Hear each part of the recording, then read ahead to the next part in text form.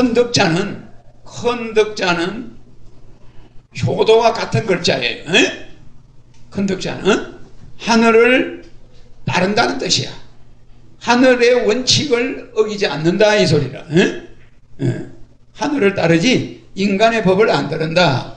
그래서 인간의 법을 이 인간의 법을 따르는 게 있고 하늘의 하늘을 이 따르는 게 있는데 이 인간의 법을 따르는 것은 여기에 덕하고 관계가 없어. 덕하고 관계가 없어. 그래서 지금 우리나라 정치를 법치로 하면은 나라가 망해요. 그러면 뭘 해야 돼? 나라를 덕치려 해야 돼. 그래 그래요.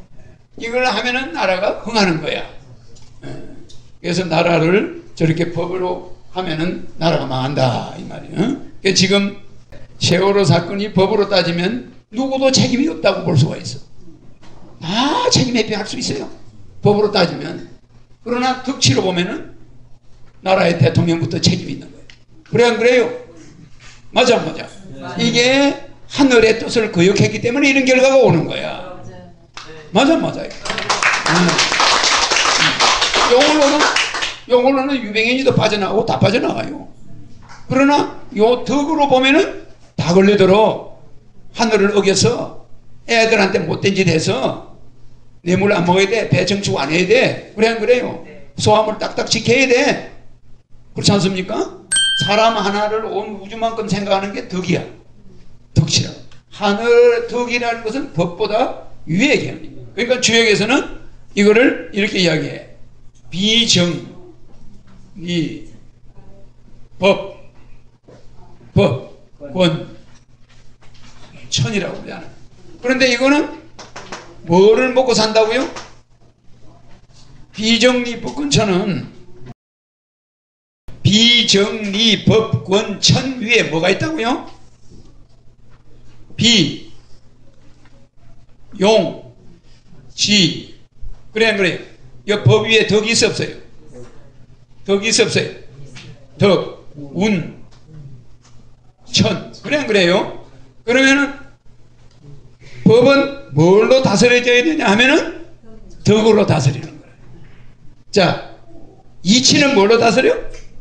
지혜로. 인정은 뭘로 다스려? 용기로. 음, 용기. 그러니까 깡패들은 정으로 살아요, 정. 자기 친구를 때렸다 그러면 용감해져. 안 그래요? 응? 그러니까 요 인정이 제일 낮은 단계야. 요거 이치가 조금 높아. 법이 그 다음 높아. 권력은 뭘로 다스려요? 권력은 뭘로 다스려? 권력 위에 서난 글자 이거 무슨 자인지 몰라요? 어? 운, 운. 권력은 하늘에서 그만두라 그러면 그만둬야 돼. 이 운자, 자기 운이 닿으면 물러나야 돼. 그래, 안 그래요? 그러니까 이 태국의 여자 수상이 권세에 운이 닿으니까 나가라. 그럼 나가야지. 그래서 권세는 덕으로 다스리는 게 아니고 권력은 운으로 다스려. 운. 네? 그래서 이게 만물의 법칙이라. 이 법칙이. 그래서 이 현재 세월호 사건도 법으로 하면은 모든 사람이 미꾸라지처럼 빠져나가. 응. 그러나 덕으로 하면은 모든 공직자가 대통령하고 모든 공직자가 국민 앞에 사표 내야 돼. 사표 내고 석고 대제를 해야 된다 이 말이요. 응? 누구 입건시키고 뭐 누구만 들이다 조사하고 뭐 유병헌이만 조사하고 이게 아니라 이 말이야. 다 자. 맞아 맞아요. 그래서 하늘에 효도하는 것이 덕이고 덕이 법을 통치하는 거예요. 법을 다스리는 게 그게 이 세상인데 이런 이치를 모르고 정치꾼들이 뭐 법으로만 따져서 뭐 저놈은 뭘 잘못하고 일샀지만 실제는 최고 우두머리가 석고 대제를 해야 되는 거예요. 누구한테요? 국민 앞에. 국민 앞에 석고대제하고 여러분들의 지시를 바꿨습니다. 이렇게 해야 되는 거지. 내가 뭐 그 내가 이걸 보고 세월호 사건을 보고 어 우리 메시 어떤 메시아가 보는 관점은 또 달라요.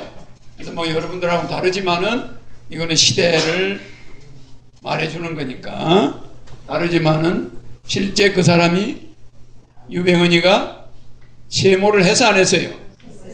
지금은 이번에 뭐 해서 세월 했죠? 이거는 무슨 뜻이야? 이 무슨 뜻이에요? 이 사람은 하나 하나님을 뭐든지 하나님하고 그 하나님을 위해서 자기 나름대로 최선을 다한다고 볼 수는 있지. 그러나 결과가 안 좋다 이 말이야. 그래서 이것도 자기가 볼 때는 모세를 빙자했다고 그러잖아. 세월은 뭘 빙자했다고요? 세월을 초월했다. 어, 세월은 시간을 초월했다. 이거는 세월이 시간을 초월했다는 말이라고 내가 해줬죠? 어, 세월은 시간을 초월했다. 그러니까 이것도, 이것도 기독교적인 말인데, 이거는 약간 하나님한테 불공한 말이야. 이게 세월, 시간을 초월한다. 음. 음. 그러면 이건 자기가 이 시간을 이 초월한다는 건 있을 수 없는 거지. 이거 아예 그냥 세월이 하지 뭐 10월이라고 그러지. 이 사람은 세월이라고 했지. 예. 세월이라고 했는데 시간이 시간을 초월했다는 말이지. 음. 그래서 이런 이런 사람들이 이 사람 하나만 문제가 있는 게 아니고 우리나라의 모든 공직자들의 문제가 한꺼번에 터진 거다.